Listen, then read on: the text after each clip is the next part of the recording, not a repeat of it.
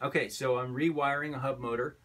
This is a Crystalyte hub motor, and the wires melted. Uh, probably the controller was running too much current. So I'm rewiring this motor. I've taken the stator out of the hub, and so these are magnets here, permanent magnets, and here's all our phase coils.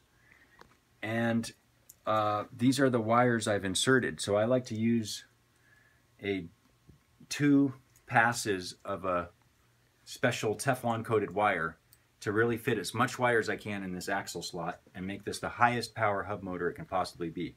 So now I'm doing the final connection, which entails, the way I like to do it is I take the old connection.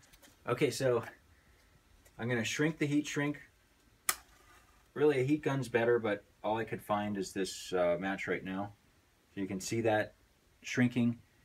And that's my first layer of insulation.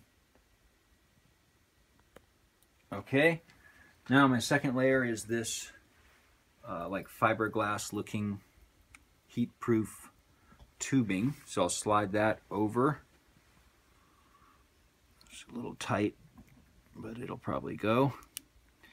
And good. Now that connection, the green wire connection's done, and I'll repeat for the other two remaining connections, and this hub motor rewire will be done.